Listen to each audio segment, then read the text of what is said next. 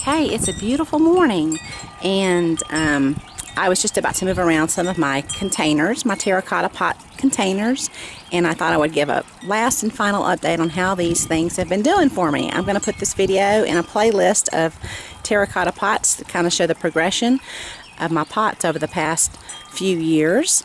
I think I'm going to have a total of about four videos. Okay, so for those of you who have not seen my other videos, I started buying terracotta pots probably four or five years ago when I lived in Florida and they're very porous and I read they were wonderful for plants that they would help the roots get air and all these wonderful things. So I bought terracotta pots. Well in the hot Florida sun I had just a terrible time keeping my pots moist enough to for my plants to grow. They just dried out on me all the time.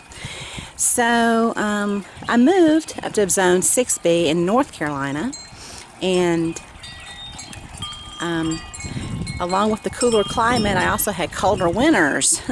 so my pots froze on me then. I know you're supposed to, well, at least I think you're supposed to empty out your pots in the winter so that they don't expand and freeze and crack. And um, that's not really what I wanted to do because I have perennial herbs in my pots and I kind of wanted them to stay in there all winter. So I had a problem with them after they cracked last winter. I thought, well, I'll just seal them. And then I had a problem with trying to figure out what to seal them with because I'm going to be growing edible plants in them and I want, didn't want something toxic. So I found a product called Water Glass and I sealed them with that. And that's in a previous video as well. Um, how I seal them and everything. And this, this is my final update to see how they did this past winter. Okay, so I sealed them about a year ago and it's April now and this is how they fared. Um, I can say that none of the ones that I sealed cracked on me over the winter. However, um, a few of the ones that I did not seal also did not crack. so I don't know what to think about that. But for instance, here's one I did not seal that did crack. Okay, it kind of chips away. It's funny how these crack. Either the bottom will totally fall out of them or the top will just start falling off like in layers. Maybe there are faulty pots or something, I don't know. Um, and then there's one back here, same thing. You see how it just falls away from the pot like in little layers.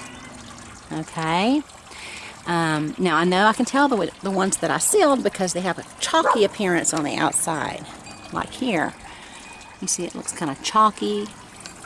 And then over here. Okay. Now I had a couple of saucers that chipped on me, that broke. And I, I thought that I sealed all my saucers. I'm sure I could just go back through my videos and see.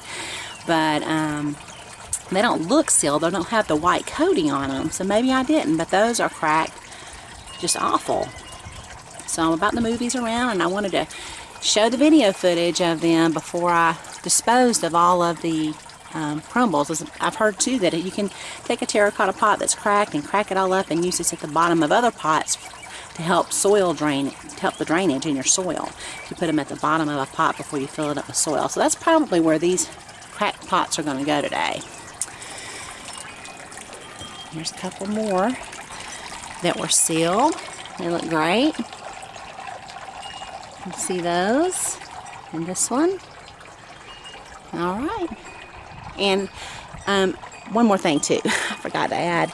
Um, they did fine sealed, even though um, someone had mentioned that they were porous and it's not good to seal them up because the whole point in having terracotta pot is that it's porous. Well, that didn't work out too good for me. so based on just my experience, I said, well, I'm going to seal them because I've given them enough time to perform well. And they even dried out in the summer here on me. So I think there's certain plants that do really well in terracotta, like succulents and that kind of thing. So it might just be my gardening error. Maybe I should not have planted the kind of plants that I put in here. So FYI on that one. Alrighty, thanks so much for watching.